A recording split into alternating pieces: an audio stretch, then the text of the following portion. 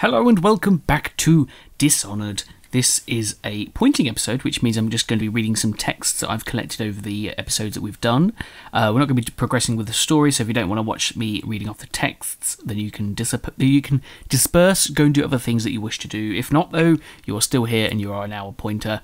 Uh, what I'm going to be doing is reading off these texts from uh, the two locations. One of them is the legal district, um, and one of them is a certain place which we've been to before, which you haven't seen yet. You'll see it in the next episode. I'm just recording this after that, so that's why a few of these texts are from there. Uh, so because of this, it's going to be called something like Legal Texts of Commerce, which may link to what we're going to be seeing soon this week in Dishonored.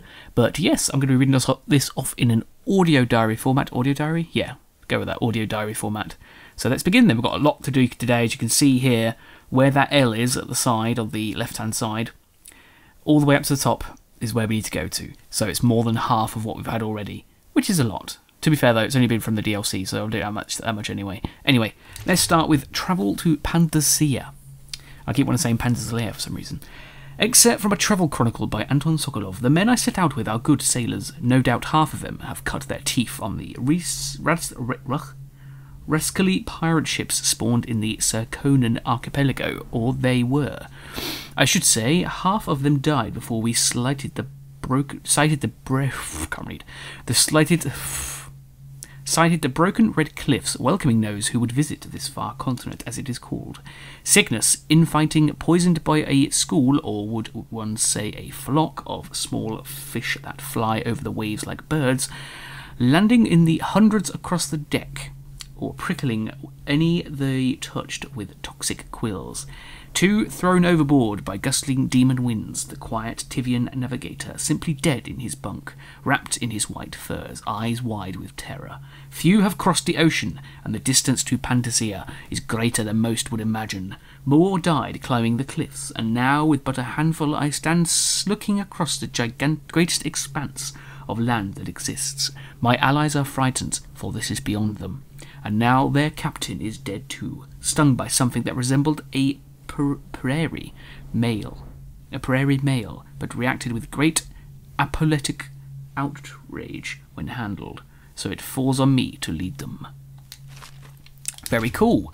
The Rudshore Chamber of Commerce, excerpt from a book covering the various districts across Dunwall and their histories. Once the financial heart of the empire, the Rudshore Financial District was a hive of trade activity. No district employee more bar- whoa, no district employed more barristers, accountants, and indeed more security, and no part of Dunwall saw a greater flow of coin. When the flood barriers broke and the waters rolled in, the looting that followed was accompanied by an epic period of chaos and butchery. Those who could withdrew and moved their assets uh, did what they could. Others, with their wealth tied up in grand mansions and artwork, lost it all. When the last of the high society set and withdrawal from the lights went dark, Rudshore was a gloomy, crumbling shell of what it had been, inhabited by thieves, wild dogs, and rats. Once great palaces of commerce sat empty and haunted. All came to house killers and mercenaries, as well as anyone else looking to hide from the city watch.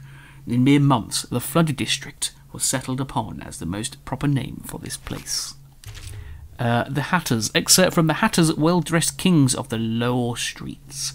The following is reconstructed from a discourse with a street person I encountered in a disreputable whisky house with while incognito. The Hatters used to run all the ruckets around Dunwall. Whiskey, weapons, hound fights, whatever the game, the Hatters had a big stake in it. Then the plague came and tore the whole damn city apart. All that chaos led to new bosses creeping up.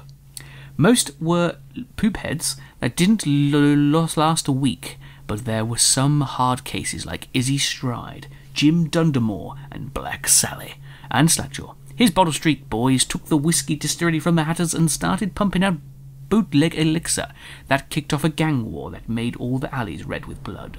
Problem was we, I mean the Hatters, were getting it from all sides. The dead eels were pinching all the river smuggling deals. The butchers were driving us out of Slaughterhouse Row. We were bleeding from a dozen different cuts, losing some of our best guys. So we pulled back just for a while. As always, anyone who counts the Hatters out is two trumps short of a full deck of Nancy. The boss is a real devious son of a bugger, been around since before the cold winds. But I ain't taking talking about him. Hatters don't talk about the geezer, even ex-hatters. Note, despite my lavish bribery, the men refused to speak further on the subject. In fact, it became obvious I had aroused a suspicion by that point, so I was forced to make my escape from the establishment. Scholar, Joella Borges, Academy of Natural Philosophy, Historical Annex. Dead Counter Responsibilities excerpt from a manual on new City Watch procedures. Commissioned by the Lord Regent in the face of the growing plague crisis, the Dead Counter is a position that will only be given to officers, usually of junior or middle grades. In most matters of edict or curfew enforcement, these officers will defer to the acting officer on duty. However, any dead counter may will have command in situations related to the plague and the handling of the dead, including those with late stage plague symptoms called weepers in common parlance. Starting in the month of rain, interested officers must apply for the test and, if accepted, for the two week training tour. Pay will be administered in coin and rations of elixir at one and a half normal pay grade. Okay. Lizzie Stride and the Dead Eels. Excerpt from a City Watch River Patrol report. William Catter, captain of the merchant vessel the Windover, reports that on this 23rd day of the month of Nests, his vessel was waylaid by the Dead Eels, a gang of notorious criminals, for acts of river piracy. Wanton destruction and smuggling prior to the blockade, the Windover was bound for Dunwall bearing medical supplies, food, and material goods from the city of Driscoll in the northeast Gristol. The captain claims that at quarter past midnight he heard the aft bell sound the alarm as the weather was foggy. The captain's first thought was that it was of an imminent collision, but when he exited his quarters he found a grisly scene, half his men already gutted on the boards, and the rest locked in a vicious struggle. Captain Catter summarised that dead eels had swum up on the boat and scaled the side of the ship with clambering, climbing hooks, but now they caught the ship, or where they'd come from he couldn't fathom. Realizing he had no chance of knowing that the dead eels took no prisoners, Captain Cutter immediately hid in a hollow of a false bottom shipping crate. I assume the captain was a legitimate trader, should need should need secret compartments, but he couldn't remember where he'd gotten it, and assured me that it had been empty. Safely hidden from view while his crew was butchered, Catter also witnessed the appearance of the dead eel's leader, a violent woman by the name of Lizzie Stride. He reports that her teeth were filed to sharp points, and that she went about the deck of the ship barefoot. Catter, clearly, clear, clear, clearly out of his mind with fear, also claims her feet were webbed. Adding to my suspicion, I will note that Captain Catter said still had that stench of brandy on his breath when the river patrol fished him out of the water. Lizzie Stride proceeded to question the first mate for several minutes before hitting the man's tongue out of his own mouth and tossing him into the river. Eventually, the dead eels discovered the captain's stash of King Street brandy. Oh no, something's come up on my screen. It's my timer thing saying it's going to turn off in a minute. There we go, King Street Brandy. Captain Catter used the discovery and the ensuing celebration as an opportunity to swim overboard undetected. I'm recommending a detailed patrol of the area in case a dead eel left any clues. They sank the ship, but some useful wreckage might be recovered. I also recommend that William Catter's status as captain and his trading license be stripped at once. Further, the men should be investigated for charges of smuggling along the Wrenhaven. Officer Manley Hodgkins, Renhaven, Wrenhaven Patrol. Roland's Journal. So Tibbish thinks he's invincible because he carries a letter from the Lord Regent giving him legal. Oh, actually, no, I think we've read this one. Yeah, we did, I think. Yeah, we've read that part of the uh, thing. Uh, the City Barrister.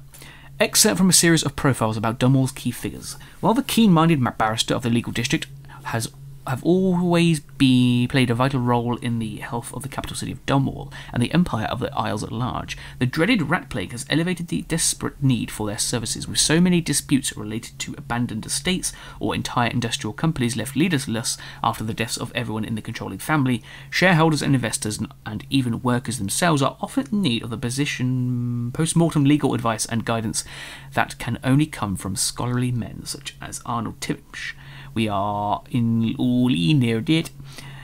Thus, there is no surprise in the Lord Regent's recent appointment of Timish to the newly created position of City Barrister. Among Timish's responsibilities is serving as a liaison to all the dead counters of the City Watch. Once the plague has been found in a home, or once it has devastated a business, it falls on Timish to divide the assets left behind, awarding them to the estate if no one survives with legal claim to the funds or property. This is, of course, not a light matter, therefore it falls to one above a moral question, and that man is Barrister Arnold Timish. Or Timsh. With regard to more personal matters, it is true that Timsh is not a great sol- socialite, as some have noted. However, in recent seasons, his niece Thalia has made headway towards correcting this, throwing lavish parties and earning the favour of some of Dunwall's great families, including the Boyles. To date, young Lady Thalia is unwed, and through several times there have been rumours of impending marriage. All of these thus have been proven to be more social gossip. Also unsubstantiated are the absolutely false whispers of conflict between uncle and niece, no doubt spread by those intempered and ill-bred brutes who are jealous of the rising Timsh name. But it is true. We know this. High on the Lamp House, lyrics to a song sung in Morley. High on the lamp house, in my thick wooden night coat, your scarf draped over my throat, I stand watch at the rail, watching the whale boats. Uh, wrapped as your words float, your lovely Payavala. The happiest hermits, alone with the mammals, in the edge of town, so warm in our quarters, half lit by potholes, midway up to the ground. Oh how we oh okay, this is a long this is a long song. Oh how how we worried when the wind rose and flurried and shut the lamps down oh so weird and flat so fierce and wet. It threatened to drown all the men of the decks fighting to find firm ground. We tried to lead them all the way round back into the harbour. The gulls down blew us, growling up to scold us. With bread on the warm bricks, we swept through the mornings until bed's solding warning.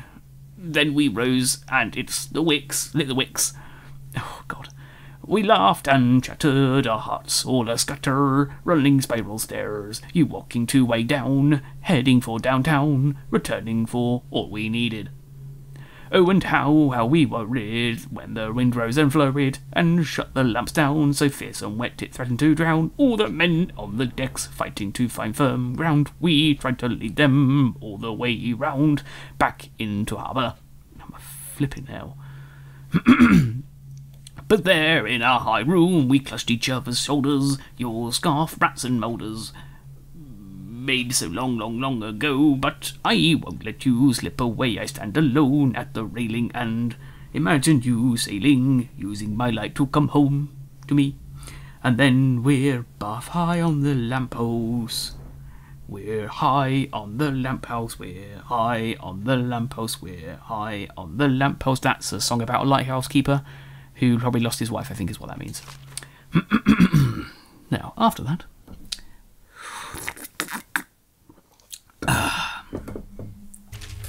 The Academy of Natural Philosophy. Excerpt from an overview of the Academy. Squatting at the edge of Dunwall, the Academy of Natural Philosophy is an ancient educational institute bustling with young students and old philosophers, alchemists, cosmologists, and vivisectionists. The best minds from across the Isles gather there to study all of nature, including the human corpus, the celestial heavens, and the physical universe. No one is allowed inside except esteemed members of the few students accepted each year after a long and arduous application process. These living nearby can only puzzle at the exotic shipments seen coming from the river and passing through the back doors, or wrinkle their noses at the odd smells that emerge from the smokehouse. Note the smokestacks atop. Royal physician Anton Sokolov is currently head of the academy. Eminent Domain. Excerpt from a pamphlet on the new government sanctioned practices by Barrister Arnold Timish. It is an unfortunate reality that the plague has spread unchecked across the city of Dunwall. Of those who are affected, very few survive. Many times, when the plague strikes a family, it leaves none in its wake, ending husband, wife, child, and elder alike. When this occurs, the homes and businesses of the deceased are left abandoned, a breeding ground for rats, or for illicit trade such as gambling, prostitution, or gang activity. The city of Dunwall, with the full blessing of the Lord Regent himself, had had no choice but to institute its current policy of seizure. Any property owned by those unlucky citizens brought down by the plague immediately becomes property of the state. The officers of the city watch, led by the dead counters, assure, ensure that these laws are enforced fairly and without corruption. Memories. Excerpt from a captain's deathbed memories. I tell you, the very sight of the animal is uplifting. Its size rivals the largest boats, and its songs resound across the ocean. The great fins are as long as two men. A single fin is as black as the rocks at the bottom of the darkest waters, but the remainder of the animal is as white as Tivian snow. Even the tentacles hanging beneath its face are the palest white, twisting and dragging in the cold depths. When the great whale berakes, everything else is lost from focus, distant and diminished, as if you were transported to a lost, lonely place that does not, cannot exist. My entire life I ran across this dream, bird into my mind when I was but ten years old. Since my first year at sea, the apparition has never left me. I have, have left. I have hunted its trace, following half-told rumours of the thinnest of clues, part of a song played by musicians in a Morley pub at the edge of a town near north of Caulkenny. Once from a sketch found among the belongings of a dead sailor, on rare occasion I was guided by more substance evidence, than an evening's meal and a conversation with the captain who had sighted the great whale at Season pass. This is obviously like the Moby Dick, the great white whale. At 13, I was already well familiar with the whaler foam, and by 16 years, I was second captain sailing uncharted stretches of sea when I got my own rickety boat at 20. I was already known as the bloodiest whale hunter in all the Isles, the most consumed, the maddest with frustration. Hunting and killing hundreds of whales, I never saw it again. I drove my ship and my men like hounds in the worst winter over a lifetime. I carried the hope of seeing it, touching the cold, dead flesh once it was hoisted over the deck. I needed to hear its song again, to understand the effect it had over me, to immerse myself in the final moments of life. Now, racing against my age, infirmity, I, my growing madness is killing this vision, this childhood dream, so that I wonder if I was ever real to begin with. My life seems already written, and I have failed. I realize now that it was crazy, this dream. Did it really exist in this world? In mine, yes. Okay, Sokolov Technology and the New Age, except from a recent book detailing Sokolov's machines. One of the advantages of Sokolov's technologies is that they share the same magnetic socket for the tanks of processed whale oil they use as fuel. When the tanker is exhausted, another can be plugged in place with ease. And the process is simple enough that any common workman or even the lower guardsman of the City Watch can handle this task. This amplifies applies to the arc pylon and the wall of light security systems, as well as the powered cartridges used for transport by those few who are wealthy enough to afford them.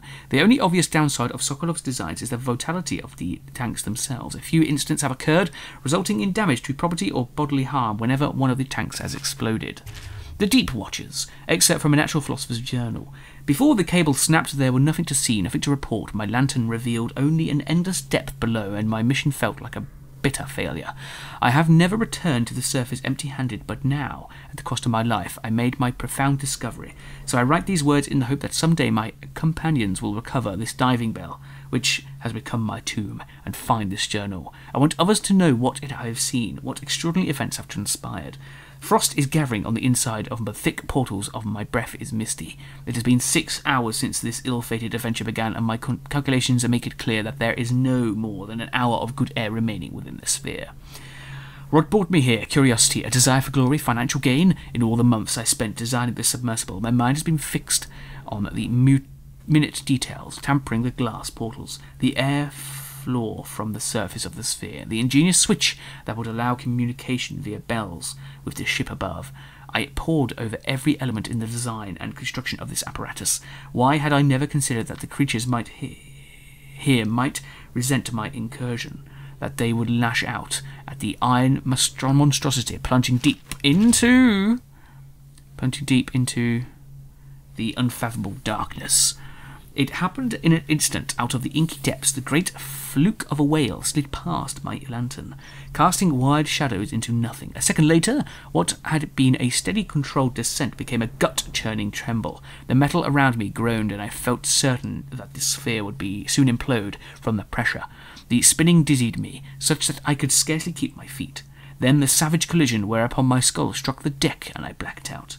A precious hour of my time was spent in that fitful sleep, and when I woke, the sickening realization came upon me, cut off, untethered, and completely removed from the world above, with no chance of returning. I extinguished my lantern some time ago in order to conserve air, and only then did the ghostly radiance of the sea floor reach my eyes. Not the seafloor itself, but the tiny tentacled creatures that swam over it. They create a carpet of soft colours, twisting and moving in waves, as if they are singing with light. It is in this dim luminosity that I can see them. The leviathans, the great whales, here in their domain. They move with grace and elegance, with purpose, and they approach the sphere repeatedly now, one almost touching the portal with his, her great eye. As I share, stare into the orb, it is clear to me that the thing is not mindlessly searching for prey, it is observing me. It is curious. One by one they approach and peer into my window. There is an unnerving sense of intelligence in that gaze, devoid of malevolence, and for a time they examine me by predicament and allow themselves to drift off to trods that broken cables along the sea floor. I dream that one of them may take the cable in its great jaws and haul me to back to the surface, but it's only a repetitious fantasy of the thinning atmosphere. I find myself gasping now, while the creatures move away and raft from, watch from a distance. Their song is different here. It is heard it in years on the surface, but here it is as soulful and moving. The natural philosopher in me is beginning to suspect that the song has notes that we cannot even detect, but here, in the depths, they can be felt. I believe they are trying to comfort me while I die. First researcher Douglas Church, EASS Keeper Forward Explanatory Vessel, Academy of Natural Philosophy. That was like the best book I've ever read in this entire thing. Um, right, I do need to actually start this video again because it's so long. Yeah, that is an amazing book. Absolutely love the Deep Watches. That's such a good thing. I'm really interested. Like this sea stuff that they're talking about. I'm, I'm sorry, I'm taking a moment away from the books, but I really want. There's something about it. But the fact that at the bottom of the ocean there's these things called leviathans. There's obviously the whales. I don't know if they're the same thing, but then there's also this glowing algae or something at the bottom of the ocean. It's like, oh my god, what? Like, there's got to be something about that in the future Dishonored games where they've got to, they've got to acknowledge it. Anyway, let's go on to the whalers. Except from a journalistic report on organised criminal activity, the gentleman of advanced age swore that his brother had been taken by the Whalers, a notorious gang associated with the man called Daud. According to Peter Mansfield, his brother Radulf was proud of working by, with the Royal Spymaster's Responsible Citizens Group, feeling no shame in reporting on what he perceived as shady dealings as his rivals at the fish markets. But this might have been the source of his trouble. On the sixth evening of the month of Herfs, or halves, Randolph came storming into Peter's home, white faced and panic stricken, claiming to have been chased by a group of ruffians wearing the leather suits and vapour masks used by the men working in the whale oil factories. Peter gave him supper and drink, sending him on his way later in the night, after what, which Randolph was never seen again. We have actually had that before. We've had a few of these before, actually.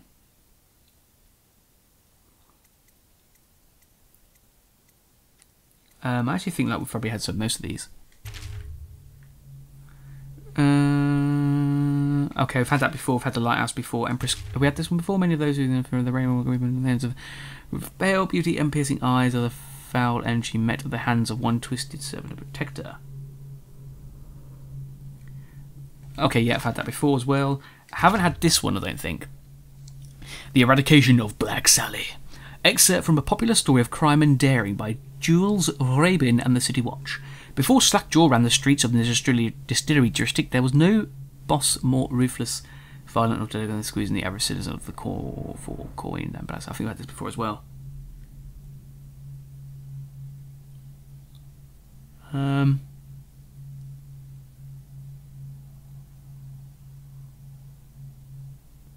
Okay, maybe we haven't then uh, violent, dedicated, excuse me, average of about court. Then folklore and then Black Sally. Like so many for Morley, she was pale skinned and green eyed, with hair as black as the void. They say that she started young, and as a girl, she'd stun a man with her looks, coming up. Coming upon him in an alley, then smile a one sided smile, and suddenly run him through with a knife. She'd have his money and be on her way before her, he breathed his final breath.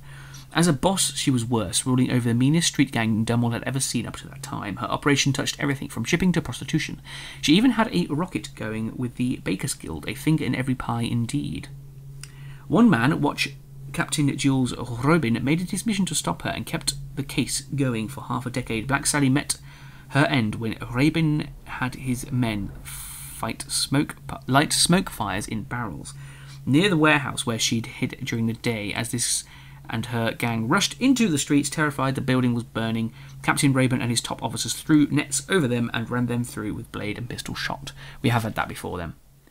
Have we had this before?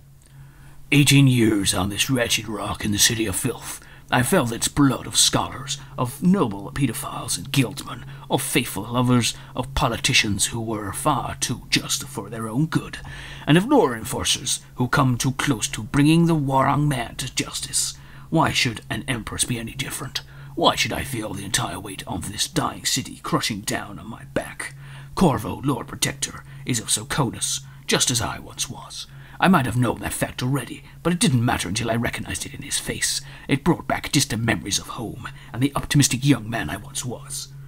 What would I find if I went back there? Would I find that it is rotted from the inside just like Dunwall? Or will it only appear that way because I am the one who's rotted? I've had that before as well. I haven't had that before. Oh, that one before. Ooh, hello. New books. Oh, no, I need a break because I need to drink.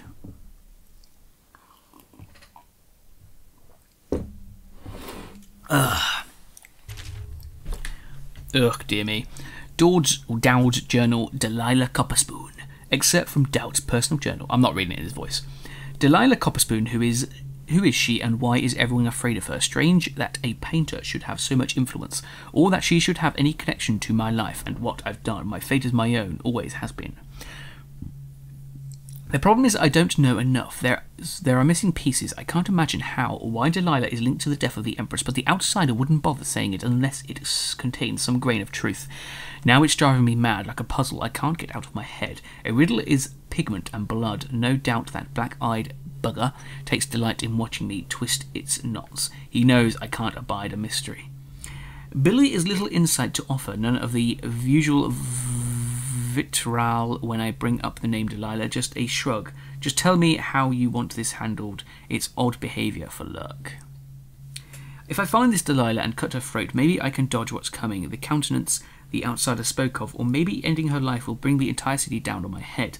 When I face her, I will see the eyes of the Empress. Can I go through with it, even if it is only way to save my own skin? Somehow I suspect there's more to Delilah than portraits and sculptures. I'll find out more when I talk to the Timsh family. And then Billy Lurk. Except from Daud's personal journal. Billy Lurk watches me closely, studying my decisions, even move I every each move I make. That's nothing new. Even as a kid, there was a quiet curiosity there, though curiosity is not quite the right word. But lately, it seems more intense. I feel the hairs on my neck standing up, and realizing any a moment later that Lurk is on a roof or balcony nearby. Some mornings, some of my papers seem to be moved, maybe poured over. When we're alone and Billy's comfortable with her mask off, Questions come from odd angles, unrelated to our mission or to a specific target. Questions about what I'm thinking, about my attitude toward the target. It's odd. Something to watch. Another puzzle. Every one of the whalers is good, though my gifts seem stronger in some than in others. The outsider's mark is a mystery, mystery in this way, not something I can control. Those who remain with me either gain in its use of my extraordinary abilities or they don't. Those who don't, I just push towards the blade. The crossbow or the study of poisons. Everyone among them serves in some way, and together we've spilled a sea of blood. Lurk is a quicker study than most, but stays aloof from the others. It's no matter to me as long as orders get carried out. And at that, that means we're up to date now with all the books. Um, very interesting. I loved, I absolutely loved that Deep Whaler one. Like, oh, so cool that. And this Billy Lurk, either she's going to betray me or she's gonna be my lover, or she's going to take over for me after I die after the DLC. Because I'm pretty sure at the end of all the DLC, Daud's gonna die. But I don't know. We shall soon see. Three options I've got for the end of this game. My theory crafting has begun. Well, the game, the end of the DLC. We'll see. Anyway, that's it for this pointy episode. It's a very long one. I'll see you later.